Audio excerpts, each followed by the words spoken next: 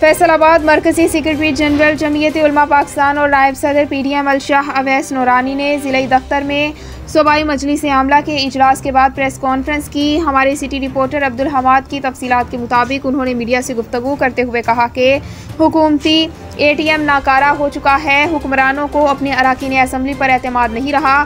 حکومت Saint election سے راہ فرار چاہتی ہے۔ ضمنی انتخابات میں عوام نے حکمرانوں کو دن میں تارے دکھا دیے ہیں اور عوام نے حکمرانوں پر مکمل عدم اعتماد کا اظہار کیا ہے۔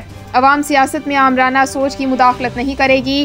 سلیکٹڈ حکمرانوں کی غلط پالیسیوں سے دن بدن ملک میں مہنگائی بڑھتی جا رہی ہے۔ لوگ مہنگائی کی وجہ سے خودکشیوں پر مجبور ہیں۔ جمعیت علماء پاکستان اور پی ڈی ایم کی سب جماعتیں ایک پیج پر ہیں اور اختلافات کی خبروں میں کوئی صداقت نہیں۔ جمعیت علماء پاکستان لانگ مارچ کو کامیاب بنانے کے لیے اپنا بھرپور کردار ادا کرے گی۔